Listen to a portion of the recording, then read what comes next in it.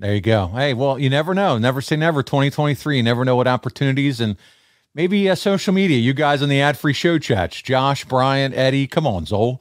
Put it out there and let's uh, see what happens and see if uh, Cael maybe extends our Olympic hero the opportunity to come out. That'd be a lot of fun, man. Uh, we'll keep going. Tommy Von Mutton Fudge. Yes, that's that's real. He said, "Will you ever work with AEW? Will you show up in Impact Wrestling? Want to work with Sting again? All right, let's start with the first one. Will you ever work with AEW, Kurt?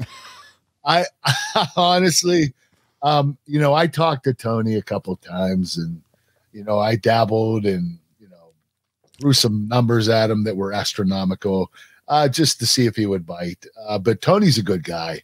Uh, he was a big fan of mine. He, I was the one he told me that he wanted in his company because he felt he, I was one of his favorite wrestlers. I guess he was a huge wrestling fan growing up. And um, so uh, I was considering it, but now I have such a solid relationship with the WWE. Yeah.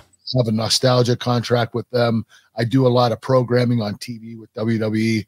So I don't think it's going to happen, uh, unfortunately, but but I'm happy where I am. WWE, um, you know, I, I look back and I know I left the WWE in 2006 and came back in 2017. Uh, I don't regret that because I had a great career in TNA. But a little small part of me says I wish I would have stayed.